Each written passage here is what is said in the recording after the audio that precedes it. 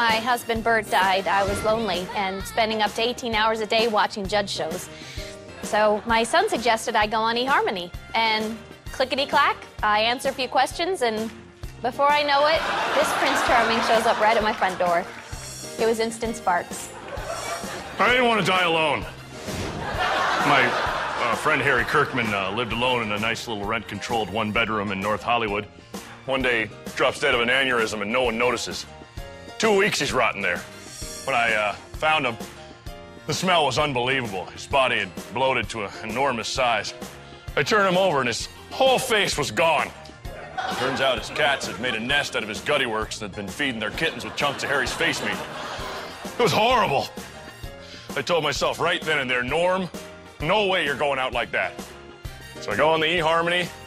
I say yes the first broad who said she doesn't have pets. Someone to go to the theater with. I have someone to find my body before the animals eat it. Quit leaning on me already, huh? Got a head like a bowling ball.